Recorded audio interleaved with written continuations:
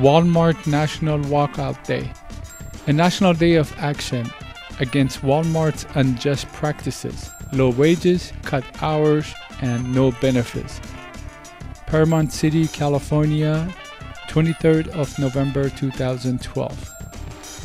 In more than 100 cities nationwide, hundreds of employees took part in walkouts and strikes against Walmart corporate malpractices on Black Friday, the busiest shopping day of the year in the United States.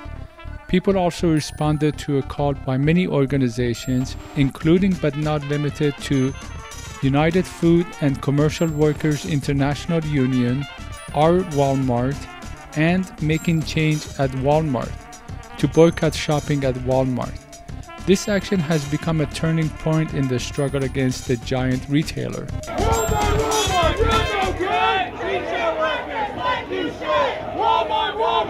No good. Workers like you should.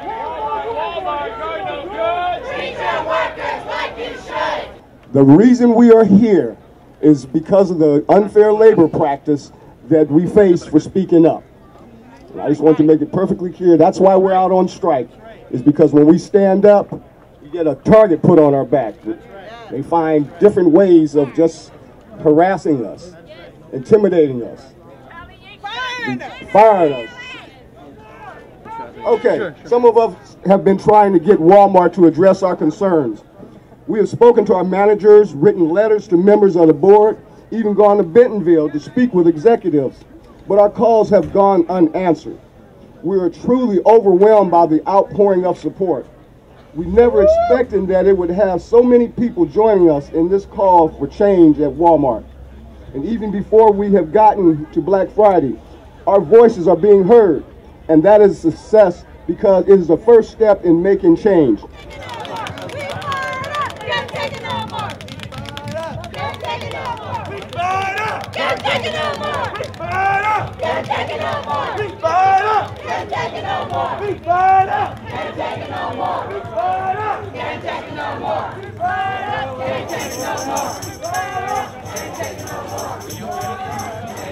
My name is Carlton Smith.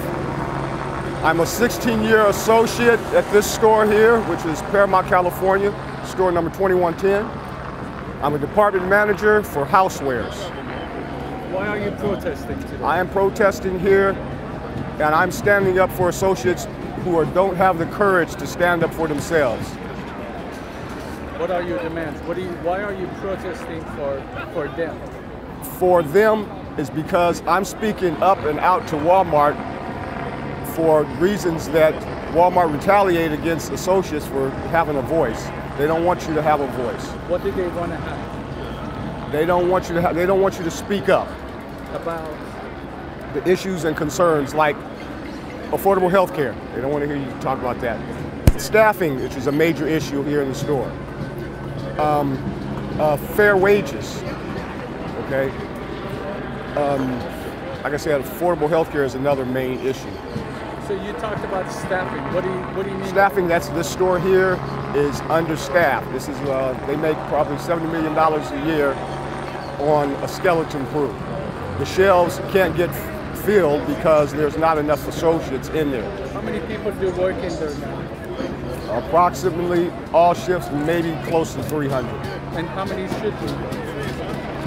Probably five, 500. And so everybody's working double Yeah, well, a lot of things, a lot of reasons that the store is understaffed is because hours are being cut. If you would give the majority of the people whose hours you cut the hours, then you could um, you would see the production in the store Why, why do they cut the hours? for profits, their bottom line. That's where their you know their emphasis is. So people work less hours? Yes, and they try to get more work out of less people with less hours. so instead of 40, how many hours do they work? Anywhere from 10 to 32. During the holiday season? Yes, there are people that with short hours. They've even brought in associates from other stores because they didn't have the, the proper staffing to accommodate the, the big load of customers that came in on yesterday. And you mentioned about wages, right? Yes. And what about that? Wages, Walmart goes into communities promising city officials that they pay an average of $13 an hour, which is not true. There are associates here today that have been with the company over 10 years and don't make $13 an hour. What, what's it, how much do they make? Anywhere from 8 to $10 an hour. Is that sufficient? Mm, Of course not. Absolutely not. Most of these people are working here are single people or parents or Most of them are parents. And explain that. Like how does the math work? Okay, well, Walmart, because of the the low wages and the hours that are being given out, are forcing the associates to rely on public assistance to make ends meet and to get you know health care that they, they need. So no healthcare provided so there's There's health care provided, but it's unaffordable to the associates because of the amount of money that they bring home. So the government has to subsidize? They're forcing the associates to do that, to get uh, county and public assistance. Any last word you want to say? Walmart stop retaliating against associates who speak up for what they deserve, which is justice, respect.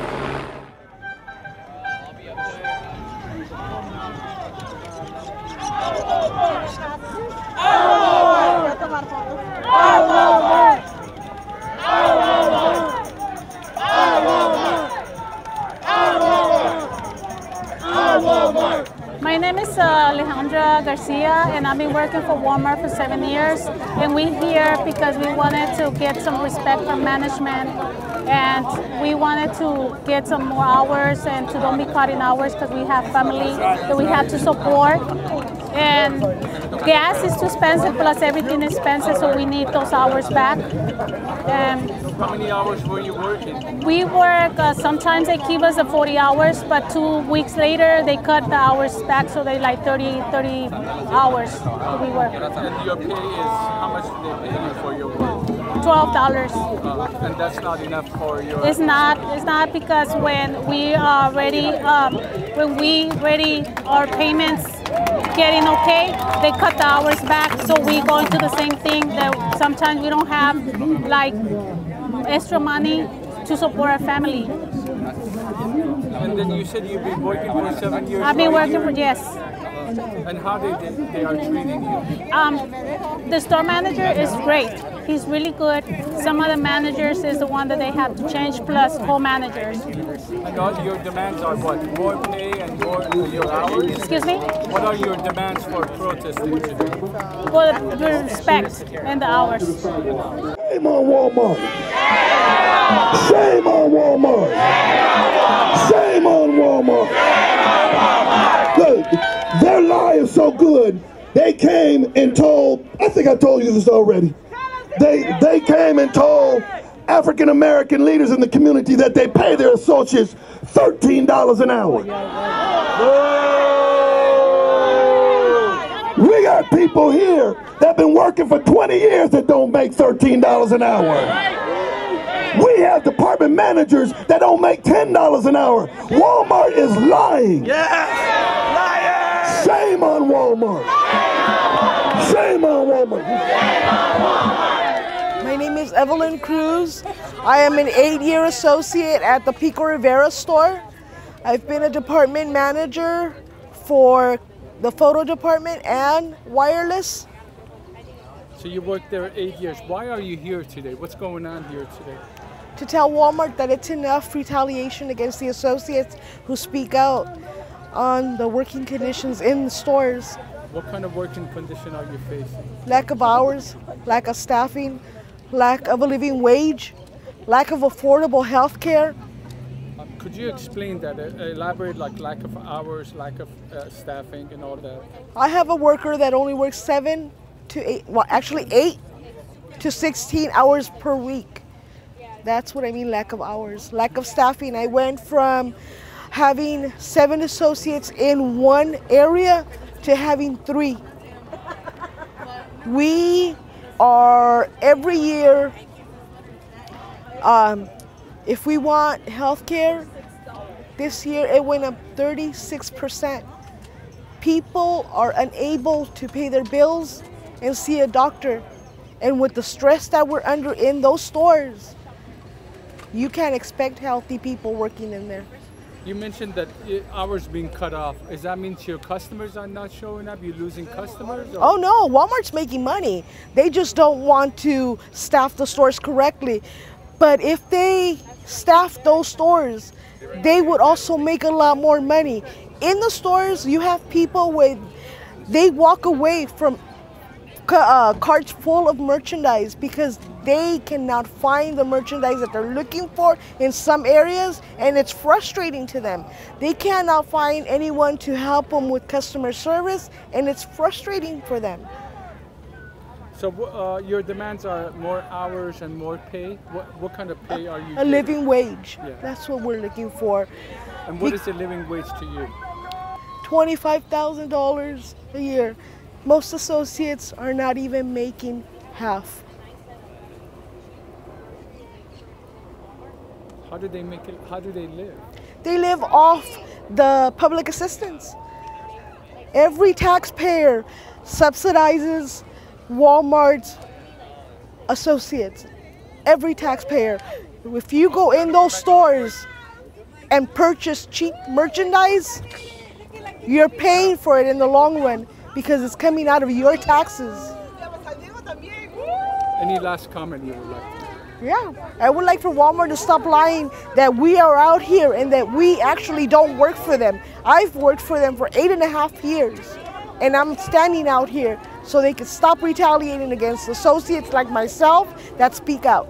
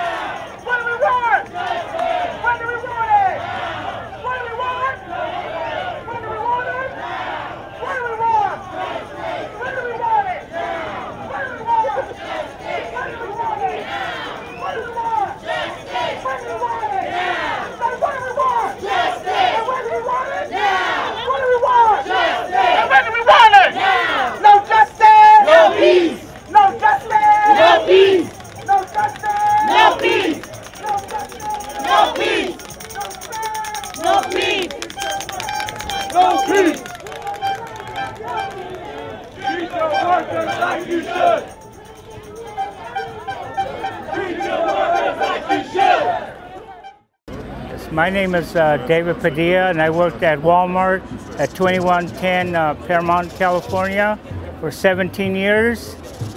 And I had an injury. I hurt myself at work 2009, and I had to have surgery, therapy. And when I went back to work, they refused to offer me a job as a door greeter. They offered me a job as a maintenance cashier, but with my injury, I couldn't do that type of work, so they, I had to quit. I had to leave the company. What kind of injury did you have? I fell off the ladder stocking, and I found out that I had um, have three uh, discs replaced in my neck, and I had to have surgery. I was having problems uh, stalking, uh, lifting uh, merchandise, and stocking merchandise with my arm and hand. So you said you worked there for 17 years? 17 years. 17 years and they just let you go because you were injured? Yeah, I was injured, and um, at the time, the only uh, uh, job they offered me was maintenance and um, cashier. But at the situation that I was in, I couldn't do that type of work. I was still going for therapy for my hand and arm and my neck. So they So, so I had no choice but to leave. And, and what happens to you all the years that you worked? Well, I I just received uh, the little bit of uh, pension I had in the system, and that was it. So I, you know, that was it. So, and then why are you protesting today then? What, what are your demands? I just want to make sure that what happened to me doesn't happen to somebody else. That's why I'm here.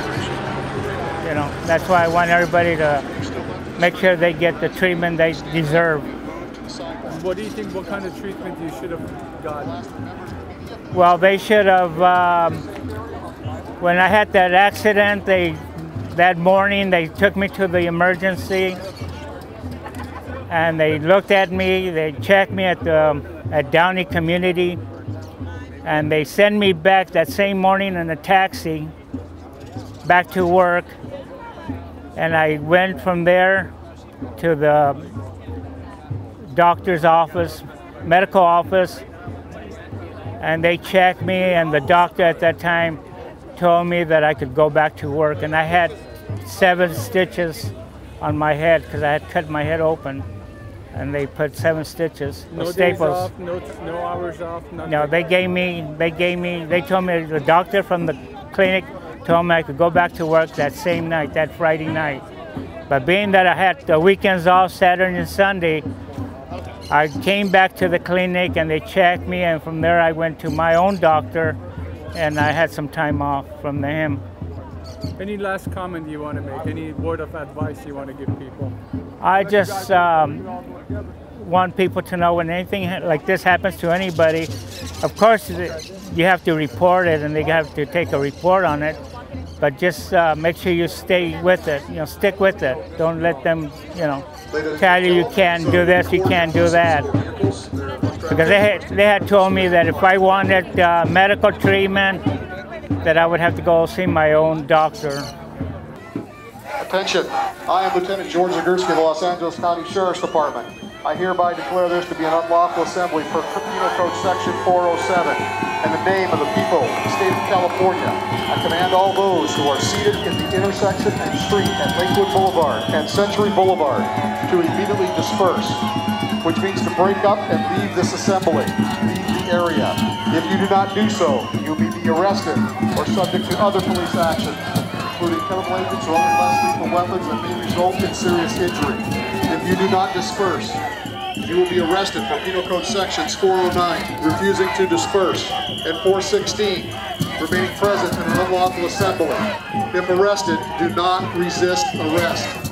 Hola, yo soy Hulda, trabajo para la Walmart de la Quinta por seis años y medio. Hi, I, I'm Ulda, and I, I work. I'm working for Walmart in La Quinta, the Walmart 1805 for six years and a half so far. How far is La Quinta from here? You in Paramount right now. ¿Qué, ta- ¿Qué tan lejos es La Quinta de aquí? Estás ahorita en Paramount. Like two hours and a half, no? Like about two hours. Two hours and drive. something. Two Yes, hours. two Why are hours you driving. here? ¿Por qué estás aquí? Porque estoy peleando por mis derechos. Because I'm fighting for my rights. Because I'm fighting for my rights. What kind of rights you want? ¿Qué tipos de derechos quieres? Respeto. Respect. Uh, and what kind? What are you asking for? What are your demands? Why are ¿Qué- you ¿Cuáles son tus demandas? ¿Qué es lo que quieres pedir? Yo pido respeto I ask for respect for me and for my coworkers. por mí, por mis compañeros. Y también pido que ¿Qué más pido? Pues todo lo que... necesi- necesitamos full time, necesitamos, también queremos que nos den seguro de, de seguro de salud. We, well, we, what, what can I, what can I say? What can I say? We, we need too many requests. There is so, so many things that we need to ask. But I would start with, we need to be really full timers. We, we are not. I mean, I'm a full timer, but I'm not getting my 40 hours. Not even close. And no, and we also deserve medical, uh, a good medical insurance, and we don't have that right now. We just have one that is really expensive. My coworker cannot afford it. So what happens when you get sick if you have to go see a doctor? ¿Qué pasa si, se- si te enfermas y si tienes- necesitas ir al doctor? Tengo que ir al doctor a Mexicali porque aquí no tengo dinero para pagar. I need to go to Mexicali because I don't have the money enough to pay a, a copayment or a, a doctor over here in the United States. Mm, Yo estoy trabajando, pero trabajo nada más cuatro horas y media. I mean, Walmart doesn't pay me enough, and uh, they, I'm only working four hours and a half per day. Four and a half hours per Four day. and a half per day. Pero es que yo quiero, yo quiero ese tiempo. Porque yo pido mis dos días de descanso y ellos me dicen que si yo trabajo ocho horas no me van a dar mis días de descanso que yo quiero. Because the company says that if she wants, if she blocks two days uh, on the week, s- uh, Walmart told him, if you block those two days, so I'm not gonna give you, I'm not gonna give you 40 hours. So that's why he, she's working less. So what are you supposed to do to make a living? How much do you get paid enough for the hours that you work? ¿Cómo haces para poder uh, pagar los biles entonces ahora? ¿Cómo estás pasando? ¿Cómo estás pasando en tu, con tu familia? Mi esposo, my husband. Any last comment? Any- cualquier otro comentario que quieras decir. Respeto, eso es lo que yo pido. I asking for respect. I'm fighting for respect. That's all I want, respect.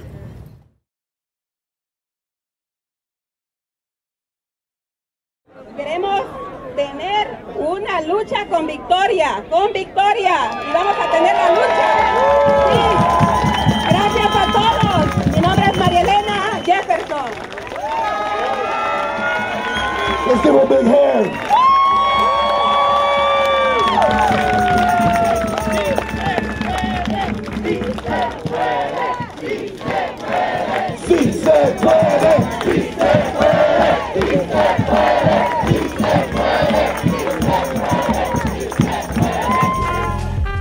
You have been watching a National Day of Action against Walmart.